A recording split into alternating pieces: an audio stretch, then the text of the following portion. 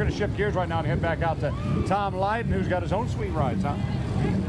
Stephen Carolyn, I've had a fantastic time just watching all the people and seeing all these beautiful cars. I'm amazed at actually how many people I know.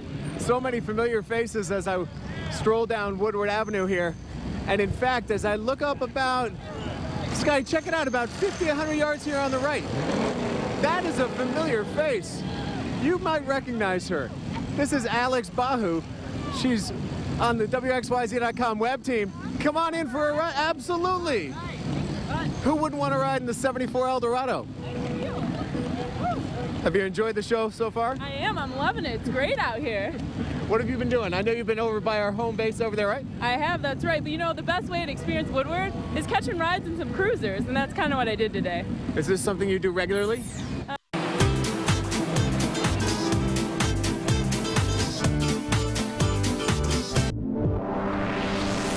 Herman, you were telling me that you don't want to collect any more cars because why? Why? This is basically my favorite car. I've always liked the 56, 57 Corvette.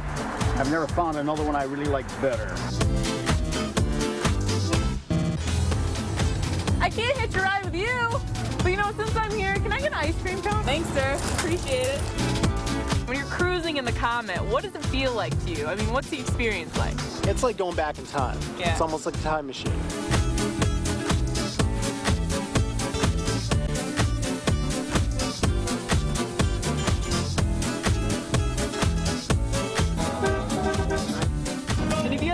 Describe your car in one word, what would it be? Fun.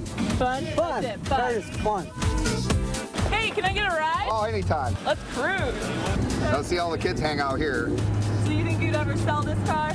No, I don't think I'll sell it. My wife would be upset. Susie wants me to keep it. Hey, Jimmy, thanks a lot for the ride. I really appreciate it. This was awesome.